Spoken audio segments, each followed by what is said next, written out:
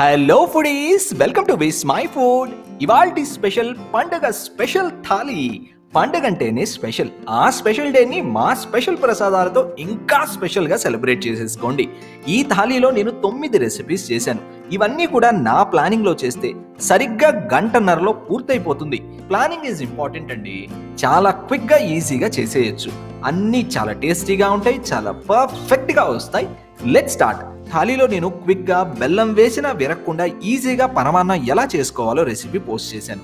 అలాగే బెస్ట్ నిమ్మకాయ పులిహోర ప్రసాదం దద్యోధనం పూర్ణం బూరెలు పర్ఫెక్ట్గా క్రంచీగా ఉండేటువంటి తోటకూర గారెలు విత్ టిప్స్.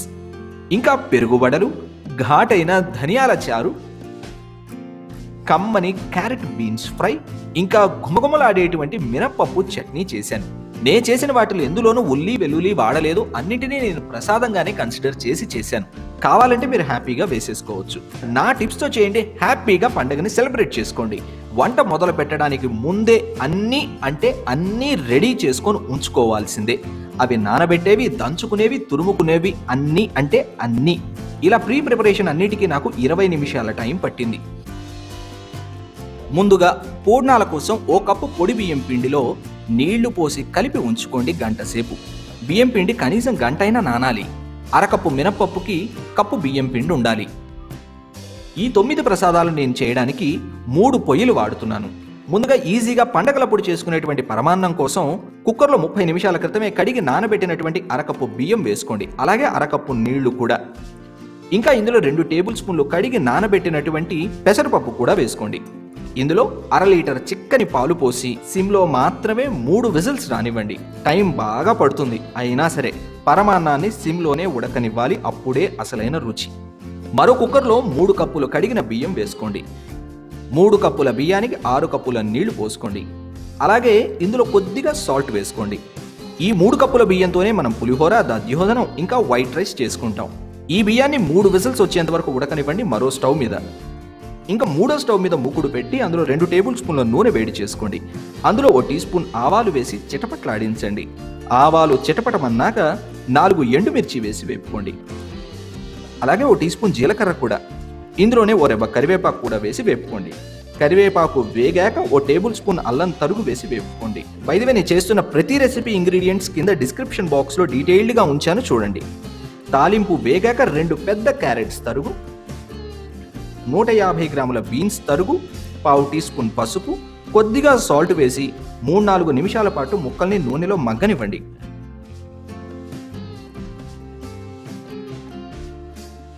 నూనెలో క్యారెట్ కాస్త మగ్గాక మూడు టేబుల్ స్పూన్లు గంట సేపు నానబెట్టిన పచ్చిశనగపప్పు వేసుకోండి. అలాగే టూ హండ్రెడ్ ఎంఎల్ నీళ్ళు పోసి మూత పెట్టి సిమ్లో ఉడకనివ్వండి.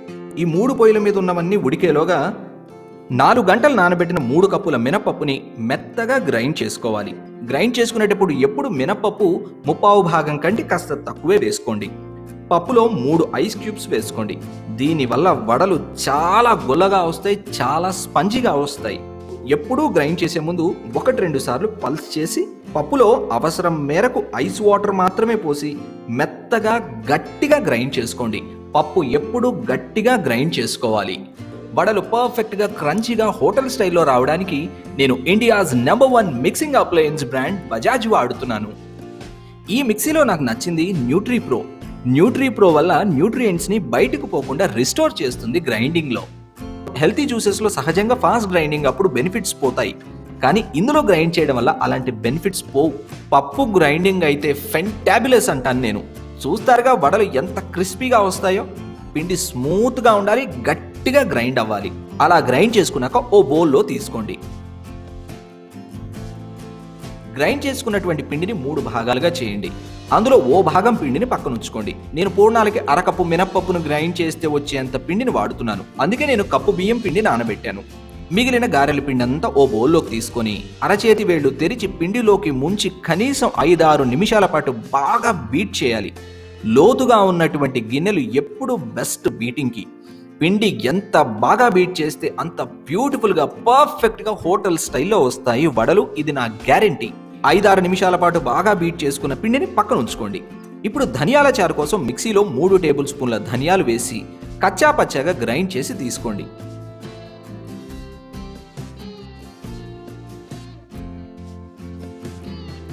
మినపప్పంతా మెత్తగా రుబ్బుకునేలోగా అన్నం ఉడికిపోతుంది.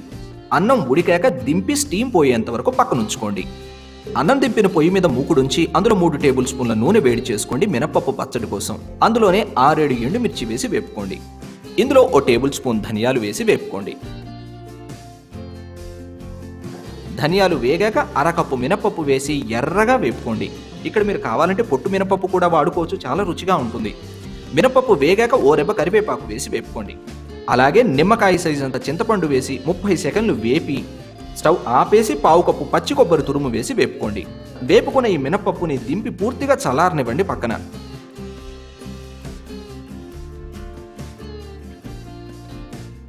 ఇదంతా అయ్యేలోగా క్యారెట్ బీన్స్ కూర ఉడికిపోయి ఉంటుంది. పప్పు మెదిపితే మెత్తగా అయిపోయి ఉండాలి. అలా మెత్తగా అయితే రెండు టేబుల్ స్పూన్ల పుట్నాల పప్పు పొడి కాస్త కొత్తిమీర పావు కప్పు పచ్చి కొబ్బరి తురుము వేసి బాగా కలిపి దింపేయండి. ఇందులో కారం వేయరు. ఈ కూర కమ్మగా ఉంటుంది నెయ్యి వేసుకొని తింటే చాలా బాగుంటుంది. నన్ను నమ్మి ఓసారి ట్రై చేసి చూడండి. మీకు కారం కావాలనుకుంటే వేసుకోండి. దీంతో ఫ్రై కర్రీ రెడీ అయిపోయింది. ఈలోగా అన్నం స్టీమ్ పోయి ఉంటుంది. ఉడికిన అన్నాన్ని మూడు భాగాలుగా చేసుకోండి. ముందుగా పులిహోర కోసం ప్లేట్లో ఓ టేబుల్ స్పూన్ నూనె వేసి స్ప్రెడ్ చేసుకోండి. ప్లేట్లోకి కొంత అన్నాన్ని తీసుకోండి.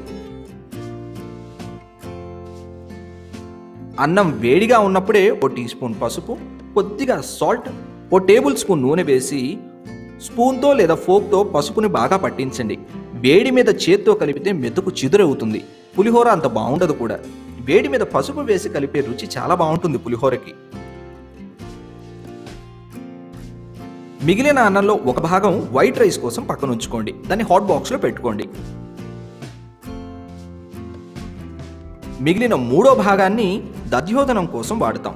ఈ అన్నాన్ని కూడా వేడి మీదే బాగా ఎనుపుకోండి. మరి మెత్తగా టూత్ పేస్ట్లా ఎనపకండి. నూకల అన్నం మాదిరిగా ఎనుపుకోండి. బాగుంటుంది దధ్యోదనం. ఈ పాటికే సిమ్లో ఉడుకుతున్న పాయసం మూడు విసిల్స్ వచ్చేసి ఉంటుంది. మూడు విసిల్స్ రాగానే దింపేసి స్టీమ్ పోనివ్వండి. ఇప్పుడు మళ్ళీ మూడు పొయ్యిలు ఖాళీ అయిపోయాయి. అన్నం వండుకున్న కుక్కర్ క్లీన్ చేసి అందులో రెండు గంటలు నానబెట్టినటువంటి పచ్చిశనగపప్పు ఓ కప్పు వేసుకోండి పూర్ణాల కోసం. ఇందులో రెండున్నర కప్పుల నీళ్ళు పోసి మీడియం ఫ్లేమ్ మీద పప్పుని మెత్తగా అంటే మెత్తగా ఉడకనివ్వండి. రెండో స్టవ్ మీద పరమాన్నానికి ఒకటిన్నర కప్పుల బెల్లం పూర్ణాలకి ఓ కప్పు బెల్లం మొత్తంగా రెండున్నర కప్పుల బెల్లం వేసుకోండి. ఇందులో వన్ ఫోర్త్ కప్పు నీళ్ళు పోసి బెల్లాన్ని కరిగించి ఓ పొంగు రానివ్వండి. మూడో పొయ్యి మీద ధనియాల చారు కోసం గిన్నెలో త్రీ హండ్రెడ్ ఎంఎల్ నీళ్ళు పోసుకోండి. ఇందులో రెండు టేబుల్ స్పూన్లు గంటసేపు నానబెట్టినటువంటి పెసరపప్పు వేసుకోండి.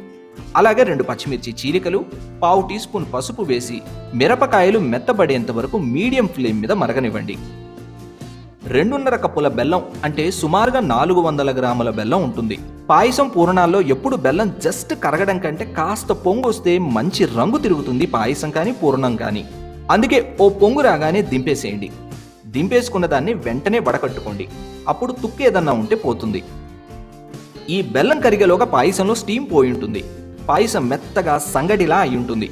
ఇప్పుడు ఇందులో వడకట్టుకున్నటువంటి బెల్లం పానకం సగం కంటే కాస్త ఎక్కువ త్రీ ఫోర్త్ కంటే కాస్త తక్కువ పోసి ఇందులోనే అరకప్పు అంటే వన్ ట్వంటీ ఫైవ్ ఎంఎల్ నీళ్ళు పోసి బాగా కలుపుకోండి.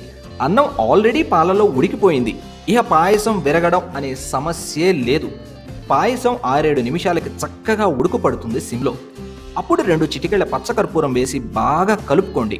నేను వెరీ సూన్ అసలు ప్రసాదం పరమాన్నం ఎలా చేయాలో ఓ వీడియో చెప్తాను. చాలా క్విక్గా అయిపోతుంది బెస్ట్గా ఉంటుంది. ఇప్పుడు చేస్తున్నది క్విక్ అండ్ ఈజీ మా ఇంటి స్టైల్ పండగలప్పుడు చేసేటువంటి పాయసం. పండగలప్పుడు మా ఇంట్లో మేము ఇలాగే చేస్తాం. పాయసం ఉడుకు పట్టేలోగా పచ్చిమిర్చి మెత్తబడిపోయి ఉంటుంది. అప్పుడు ఇందులో పెద్ద నిమ్మకాయ సైజ్ అంత చింతపండు నుంచి తీసినటువంటి త్రీ హండ్రెడ్ ఎంఎల్ చింతపండు పులుసు పోసుకోండి. అలాగే ఓ టొమాటో సన్నని తరుగు.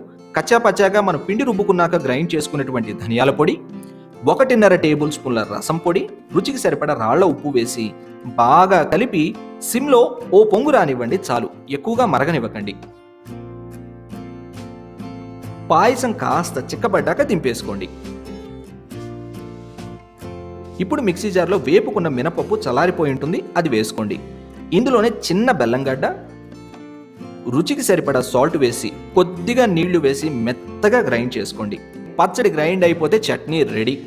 ఈ పాటికి శనగపప్పు కూడా పూర్తిగా ఉడికిపోయి ఉంటుంది. మెత్తగా ఉడికిన శనగపప్పుని వడకట్టుకోండి.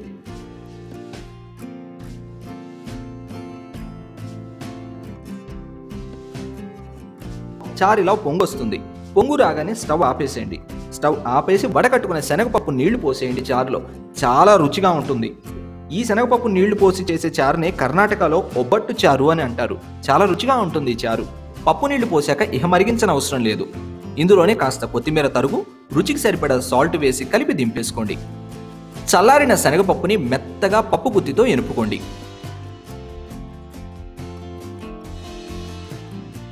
ఎనుపుకున్న పప్పుని బెల్లం మరిగించిన కడాయిలో వేసుకోండి. ఇంకా పక్కనుంచుకున్నటువంటి ఓ కప్పు బెల్లం పానకం పోసి శనగపప్పు ఉడికి ఉడికి గట్టిగా అయ్యేంత వరకు హై ఫ్లేమ్ మీదే కలుపుతూ ఉడికించుకోండి. హై ఫ్లేమ్ మీద కలుపుతూ ఉంటే నీరు ఎగిరిపోయి ఫాస్ట్గా పని అయిపోతుంది ఇలా పాకంలో ఉడికించి చేసే పూర్ణం చాలా రుచిగా ఉంటుంది.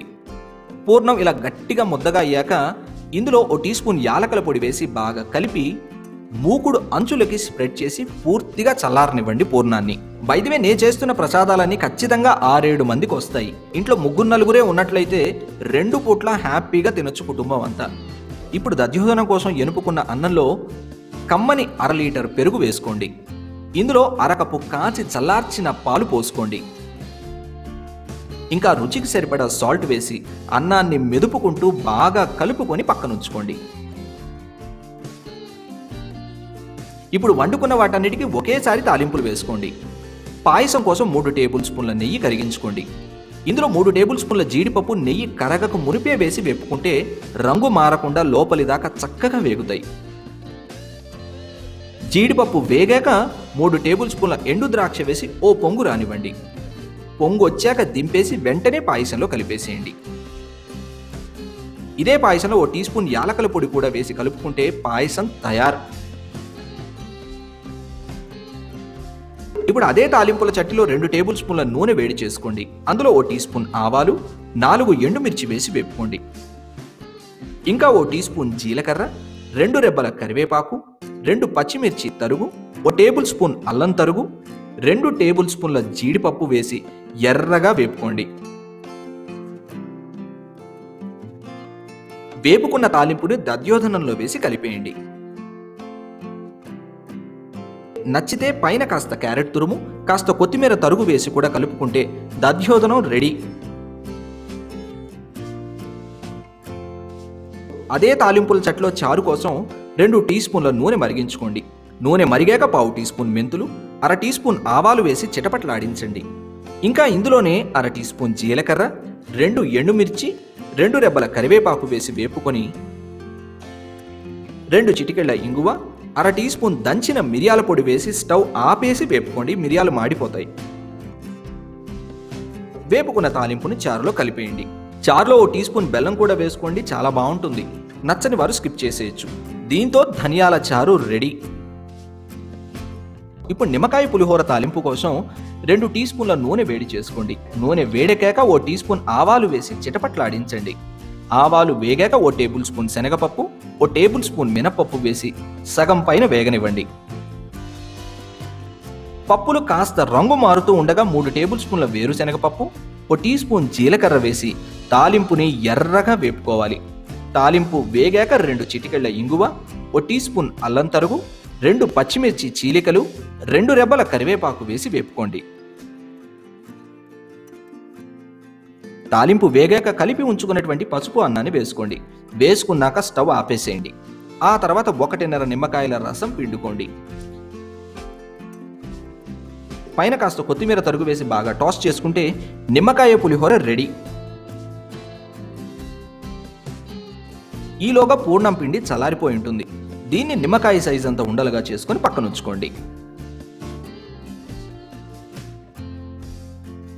పూర్ణం కోసం ఉంచుకున్నటువంటి మినప్పిండిలో గంటసేపు నానుతున్నటువంటి బియ్యం పిండి వేసి బాగా కలుపుకోండి. అవసరమైతే కాస్త నీళ్ళు కలుపుకోవచ్చు. పిండి అట్ల పిండి కంటే కాస్త చిక్కగా ఉండాలి అని గుర్తుంచుకోండి. ఇప్పుడు బీట్ చేసి ఉంచుకున్న గారెల పిండిని రెండు భాగాలుగా డివైడ్ చేసుకోండి. ఓ భాగం తోటకూర గారెల కోసం మరో భాగం పెరుగు వడల కోసం. తోటకూర గారెల పిండిలో ఓ టేబుల్ స్పూన్ అల్లం తరుగు కాస్త కరివేపాకు తరుగు చిటికెడు ఇంగువ రెండు పచ్చిమిర్చి తరుగు ఓ కట్ట సన్నని తోటకూర తరుగు రుచికి సరిపడా సాల్ట్ వేసి మళ్ళీ బాగా బీట్ చేసుకోండి. బీట్ చేసుకున్నాక పక్కన ఉంచుకోండి.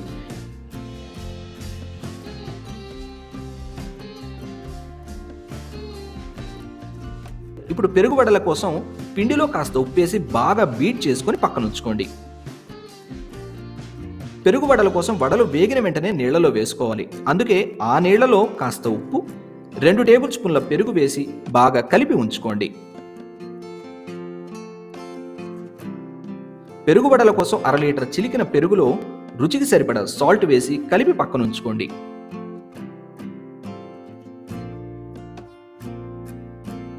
ఇప్పుడు బాగా వేడెక్కిన నూనెలో ముందు పూర్ణం పిండిలో పూర్ణాన్ని ముంచి మూడు వేళ్ళతో పట్టుకుని పైకి విదిలిస్తే ఎక్సెస్ పిండి కిందికి జారుతుంది.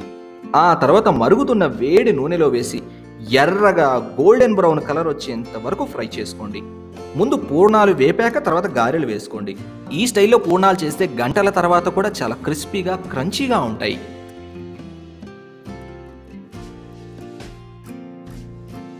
గారెల కోసం చేతులు తడి చేసుకొని చేతుకున్న నీళ్ళను పూర్తిగా పిండేసి పిడికెడి పిండిని వేళ్ళలోకి తీసుకొని బొటన వేలుతో పిండి మధ్యన నొక్కి వేడి వేడి నూనెలో వేసి గారెలు హై ఫ్లేమ్ మీదే వేపుకోండి. నూనె మంచి కాక మీద ఉంటే గారెలు వేసి వేయగానే అలా పొంగి పైకి తేల్తాయి. అది పర్ఫెక్ట్ గారెకి ఇంకో గుర్తు. చూడండి ఎంత బ్యూటిఫుల్గా ఉన్నాయో.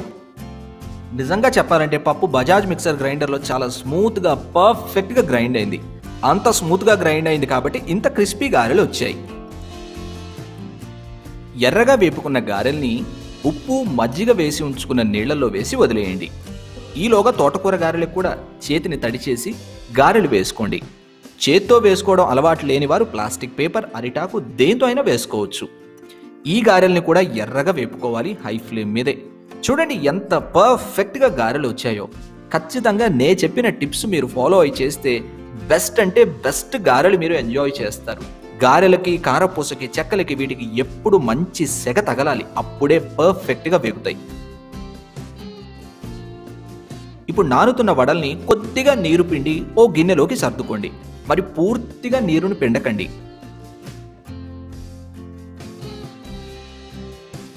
పెరుగు వడ తాలింపు కోసం ఓ టేబుల్ స్పూన్ నూనె వేడి చేసుకోండి. నూనె ఎక్కువగా అవసరం పడదు. ఇందులో అర టీ స్పూన్ ఆవాలు మూడు ఎండుమిర్చి రెండు చిటికెళ్ళ ఇంగువ అర టీ స్పూన్ జీలకర్ర ఓ టేబుల్ స్పూన్ అల్లం తరుగు వేసి వేపుకోండి. ఇందులోనే ఓ రెబ్బ కరివేపాకు కూడా వేసి వేపుకొని దింపేసుకోండి. చిలికి ఉంచుకున్న పెరుగుని వడలపైన పోసుకోండి. దాని మీద తాలింపు చల్లుకోండి. అంతే పెరుగు వడలు రెడీ.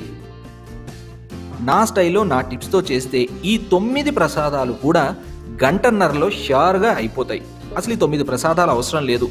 అచ్చంగా రైస్ సెక్షను కూర చారు పచ్చడే పెట్టుకుంటే కూడా ముప్పై నిమిషాల్లో అయిపోతుంది ఆర్గనైజ్డ్గా ప్లాన్ చేస్తే. అవునా కాదా? నచ్చాయా?